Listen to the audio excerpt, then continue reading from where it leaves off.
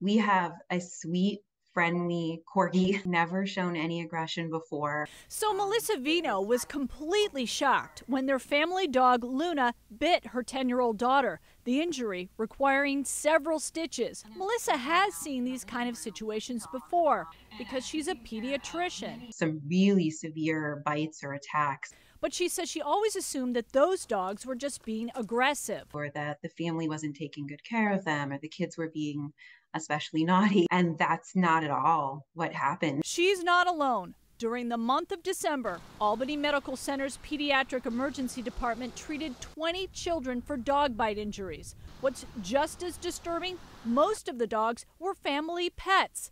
94% of the cases involve dogs living in the home. It's the worst we've actually seen at Albany Med. It's now our second leading cause of injury um, to date at Albany Med. Dogs will try to give us different signs that they're not comfortable, um, but we don't always know how to read them. Terry Rudolph is a dog trainer who works with families. She teaches parents and kids to recognize the signs that a dog is stressed before they bite. Low tail wags, freezing, body freezes. The dog will stay really still, or they may turn their head away but just kind of look up with their white, the whites of their eyes. Melissa says their dog Luna also gave her children signals too, like that she probably didn't want to wear a sweater and um, they were convinced that they needed to keep her warm and they were trying to help her. They've now signed up for sessions with the trainer. Because we, we love our dog. The circumstances weren't good and we need to fix that. Anya Tucker, News 10,